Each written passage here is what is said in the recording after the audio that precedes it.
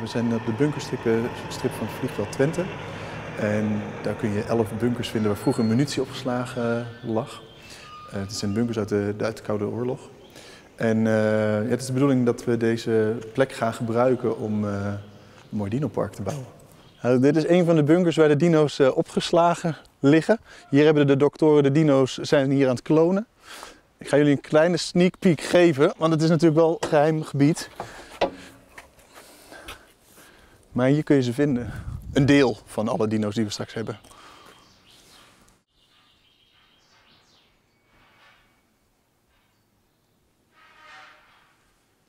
We zijn uh, bezig met alle dino's hier in, in de bunkers neer te zetten. Uh, we hebben 57 dino's die nu uit, Utrecht komen. En die slaan we op tot eind juni. Dan gaan we ze placeren op het terrein.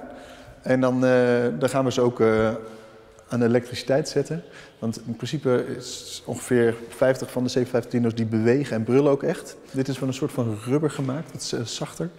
ook een aantal dino's, toevallig staan er hier twee, die zijn van wat harder plastic. Maar dat heeft gewoon puur mee te maken dat de kinderen daar straks op kunnen zitten voor een leuk, leuk plaatje. Als het goed is ga ik hem open krijgen, maar het is best wel zwaar. Hier willen we een, uh, straks een doolhof van gaan maken waar kinderen op zoek moeten naar ook een van de cijfers van de formule.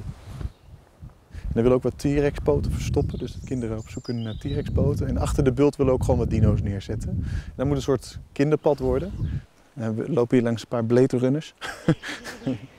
dit, is, uh, dit is de grootste T-Rex die we hebben. We hebben drie uh, T-Rex straks. En deze wordt echt tot 8 meter groot. Dus het, en dat gaat straks bewegen en geluid maken. Dat is echt super imposant.